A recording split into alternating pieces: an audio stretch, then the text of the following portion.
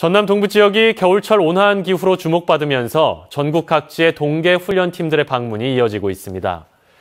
현재 여수에서는 국가대표 복싱팀 37명과 태권도 일본 친선팀, 농구와 야구, 탁구 종목의 전지훈련팀이 동계 훈련을 하고 있고 순천은 최근 유소년 클럽 축구대회를 개최해 전국 49개 팀 2천여 명의 선수와 가족들이 방문했습니다. 광양 지역도 국가대표 상비군과 한국체대 등 육상 38개 팀과 축구와 태권도, 탁구, 씨름 등 160여 개 팀 3천여 명의 선수들이 겨울철 훈련을 위해 전남 동부 지역의 스포츠 시설을 찾았습니다.